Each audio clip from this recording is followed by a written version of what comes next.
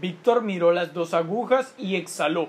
Llevaba casi un año de diálisis y cada vez las odiaba más. Desde aquel día en que le habían puesto una vía debajo de la piel y un tubo que sobresalía más de un centímetro del brazo, se había sentido prisionero, como un animal en una red.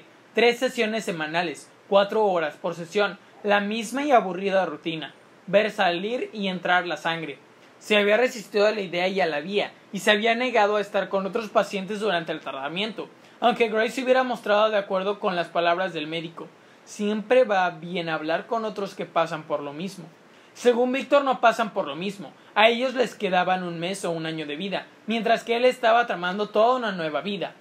Pagaba por tener una suite exclusiva, equipada con computadoras y centro multimedia, y sus propias enfermeras, con Roger siempre a pocos metros. Aprovechaba las cuatro horas para trabajar, apoyado en la manta en un teclado inalámbrico.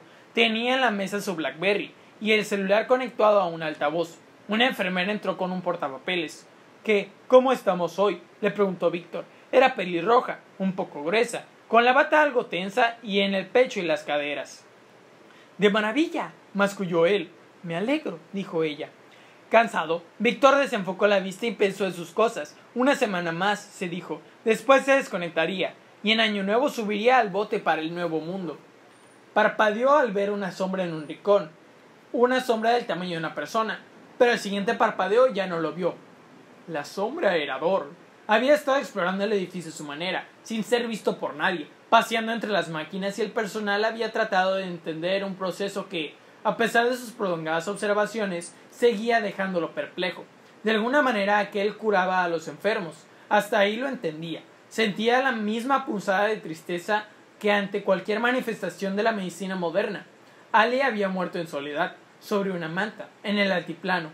¿Y si hubiera pertenecido a aquella generación, no habría sobrevivido muchos años?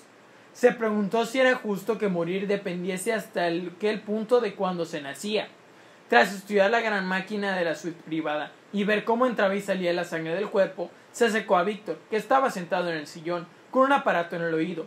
Víctor, con cuyo destino debería enfrentarse como requisito para coronar el suyo.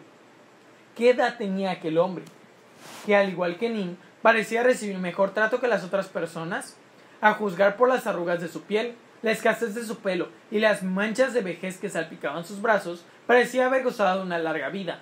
Aun así, reparó en que tenía el ceño fruncido y las comisuras de los labios torcidas hacia abajo.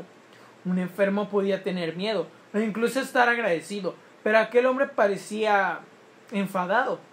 No, mejor otra palabra, impaciente.